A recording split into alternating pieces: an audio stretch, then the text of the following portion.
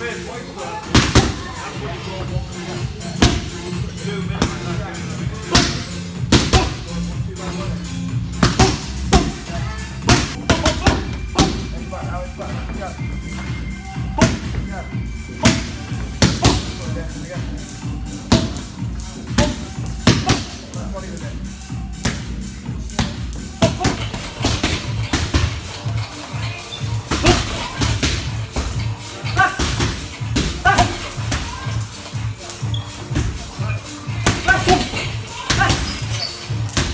好好好